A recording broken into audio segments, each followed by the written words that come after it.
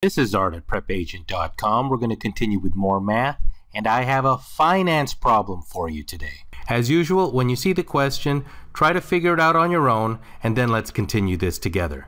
Mr. Smith has a 90 day personal note in order to borrow $9,000, on which he paid a total interest of $325. What was the annual interest rate on Mr. Smith's note?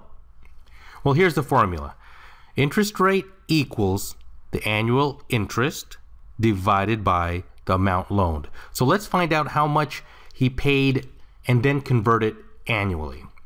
Mr. Smith paid $325 for 90 days. 90 days is three months.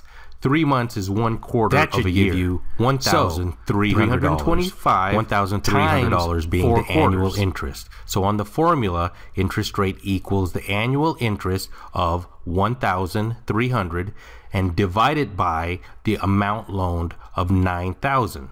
So one thousand three hundred dollars divided by nine thousand will give you this on your calculator. 0.1444444 and you need to move over the decimal points by 2 and that will give you 14%. So there it is. The annual interest rate on Mr. Smith's note was 14%. Well, hope you understood it. Hope you enjoyed it. This is another work of art at prepagent.com. Thank you.